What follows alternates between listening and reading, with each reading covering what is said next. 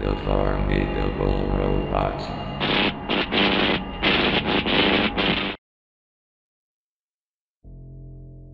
I used to work at a video store in Miami called Blockbuster Video.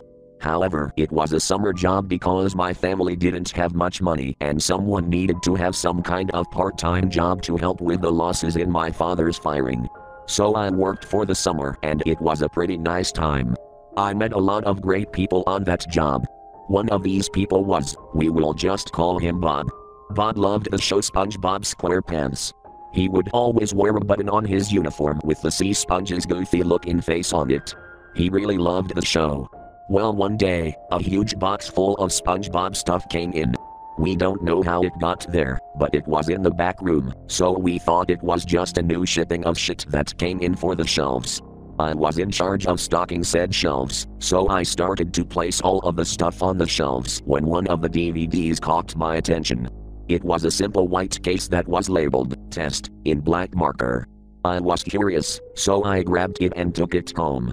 The disc was blank with no images or label on it. It was just a blank looking disc.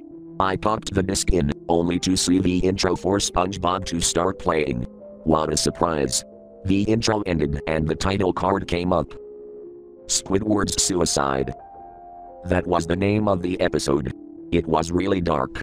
I had no idea why it said this, so I paused the episode.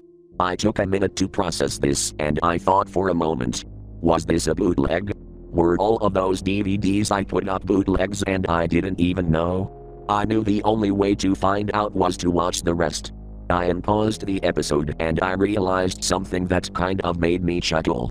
The music that was in the background was very happy. It sounded like any other episode's intro music. It was just so odd for such a dark title like that to be partnered by such cheery music. The next off thing was the intro credits. All of them were blank. All that was there was sand. The episode then began. The episode began with Squidward sitting on his bed playing his clarinet. He messes up and is shaking heavily. Just as he is about to play again, laughter interrupts him. He looks out the window to see SpongeBob and Patrick playing in the sand like idiots. Squidward then politely asked them to please lower their volume, which is something unlike the character of Squidward. He goes back over to his bed and is about to play again. The same thing happens and he asks again, this time a little more stern. This happens one more time before he explodes. Will you just shut your mouths? I have a very important concert to practice for. SpongeBob and Patrick then start to cry, very loud. They then run off to somewhere else and Squidward goes back to playing. A bubble transition takes us to a concert hall where we see Squidward trembling in fear. He walks out and we hear fish clapping and cheering. Squidward then says a speech. Um, hello everyone. Thank you all so much for coming. If you don't know who I am, my name is Squidward Tentacles. I am here to play a song for you all. I made it myself, and it's called A Cephalopod's Dream. I have worked very hard on this, and I hope you guys and gals love it. He takes a deep breath and starts to play. It is beautiful. Every note played correct. But the crowd starts to boo and laugh, and then start to scream. Then they throw things at Squidward, and they all leave in anger. There is just Squidward, laying on the floor, trying to process what happened. He then finds his clarinet in pieces.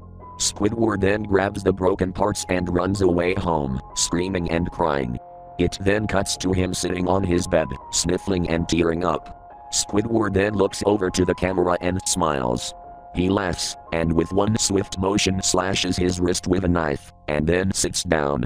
He starts to cry again. The crying then stops. Squidward dies. The scene cuts to black, and we hear SpongeBob open a door and yell out Squidward's name. The episode ended from there.